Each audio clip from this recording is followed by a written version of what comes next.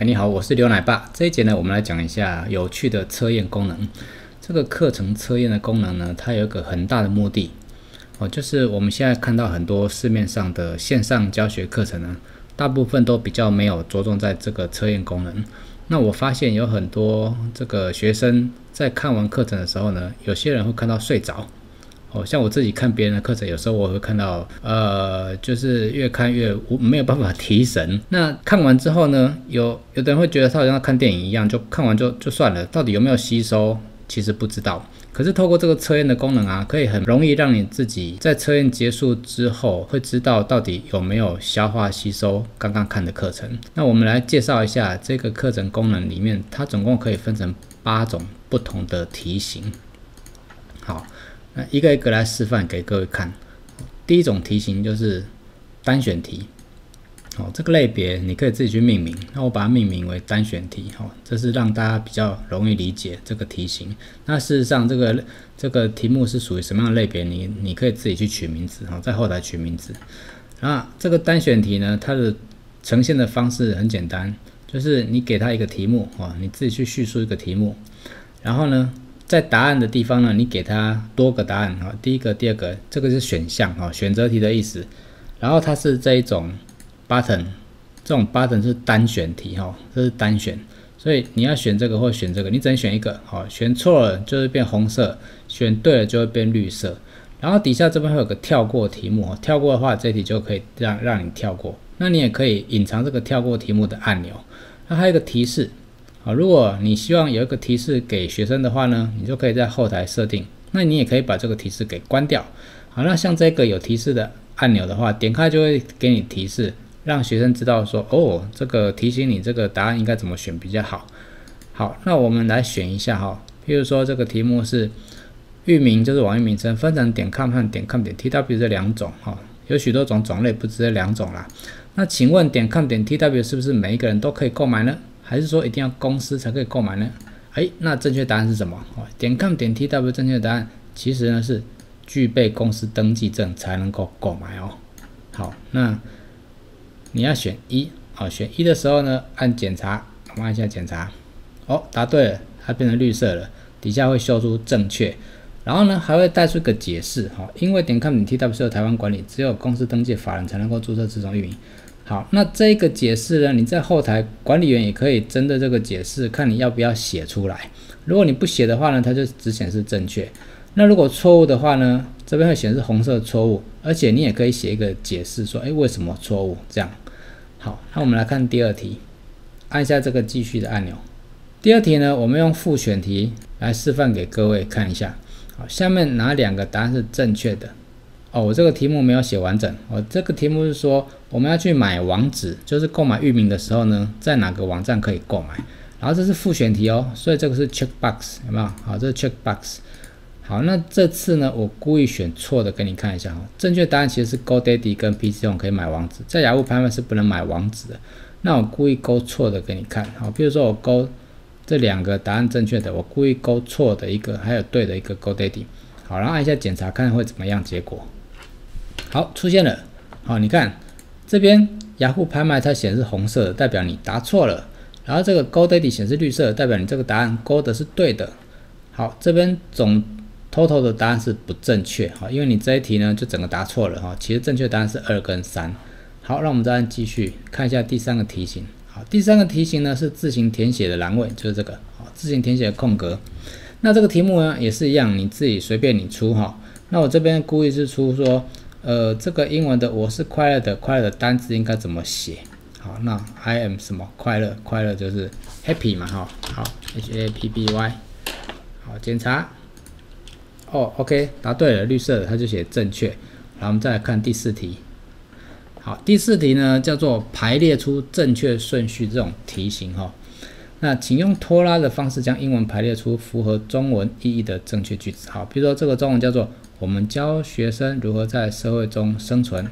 诶，那他这个你在后台啊，把正确答案写出来之后啊，正确的顺序写出来之后啊，这个出题的时候这边会是乱数哦。哦，这个软体本身啊会把这个顺序给打乱。哦，所以呢，这个叫做排出正确的顺序。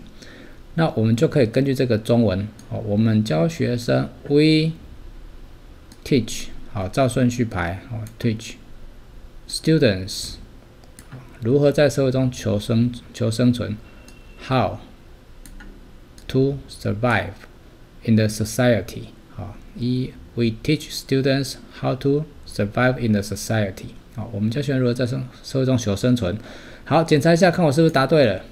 哦，全部答对了，正确。好，一点哈，得到一个点数。这个在后台也是可以设定的。好，我们再按继续下一题。啊，第五种题型叫做拖拉式的题型。那这个拖拉式的题型呢，你可以自己啊，我们这边做示范，就是诶，这边有个商标，有个女人，有个男人，那这是可以拖拉的哈。比如说商标哪个是比较符合，哪一个图片是比较符合商标的，哦，是这个，我们就把它放到这边来。然后呢，诶，女人，女人，嗯，这个图片是属于女人，好，把它放到这边来。好，男人，好，男人放到这边来。好，那这个图片跟这个文字都是你在后台哈，管理员可以自己去设定的哦。然后呢，我们再按检查，看一下这个结果是不是正确。哦，好，完全正确，都对的，正确。好，那我们来看下一题，继续。好，这一题呢是属于填空题。好，请在空白处填入正确答案啊。中文，我是一个漂亮的女孩。好，那这个呢，I am a 呃 beautiful，或者是 pretty 都可以嘛。那我们在后台啊，可以去这样设定，就是你要让它只有固定一种答案的话，我们在后台可以用大括号的方式去做设定。那如果你要两种答案以上的都可以的话呢，我们在后台呢也可以用大括号跟中括号来做设定。好，那我们现在只示范前台的功能就好了哈。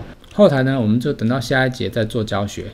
好，比如说，I'm beautiful，I'm pretty，P R E T T Y。好，I'm a beautiful，B A U T I F U L。其实这一格呢，我是把它设定成 beautiful 跟 pretty 两个都可以的哈，所以我写 beautiful 或者是写 pretty 都是可以的。但是这一格呢，我在后台是设定 pretty 才可以哈。好，然后这个是五加六等于十一。啊，如果后台呢，我是把大括号里面设定十一，所以这边一定要填十一。然后这边一定要填三十，否则就会出错。我故意填错的，填三十一好了。然后检查，好，果然这一题就是错的。然后他会告诉你正确答案是三十。哈，这个是我们在后台设定的正确答案的。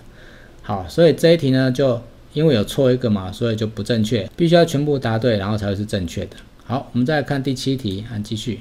好，第七题呢，严格来讲，它不算是考题啦，哈，它只是一个评分，哦，看你喜欢不喜欢，设一个试调。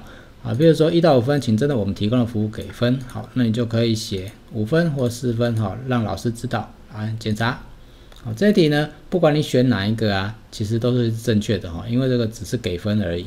好，我们再来看第八题。好，第八题是属于申论题哦，哈，请叙述你学习后的心得。然后呢，你就可以在这边，好，我觉得学习效果不错。好，然后。按检查，好，当你按下检查的时候呢，它会把这一个你填写的文字呢送到后台去，老师可以看得见，然后再由老师去帮你做调整或评分。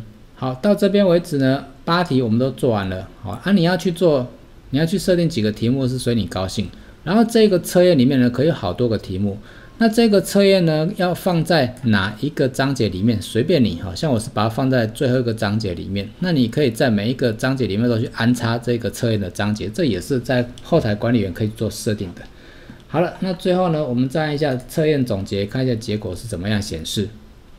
这里呢，我们就按下结束测验，然后它会显示测验完成，好，结果正在被记录中。好了，他跑出来说：“哎，你总共的课程呢完成了七十五分，哈，一百分里面七十五分，然后呢，总共得到了十二点里面的九个点数。那其他同学呢的平均大部分都是在四十八点一五分，那你得七十五分，所以你不错哦。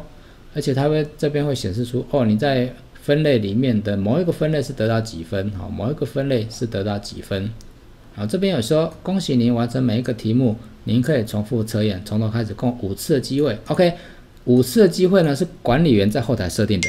哦，你可以设定零次，他就不能够再接受测验了。你也可以设定多次啊，比如说我设定了五次，所以这边会显示五次。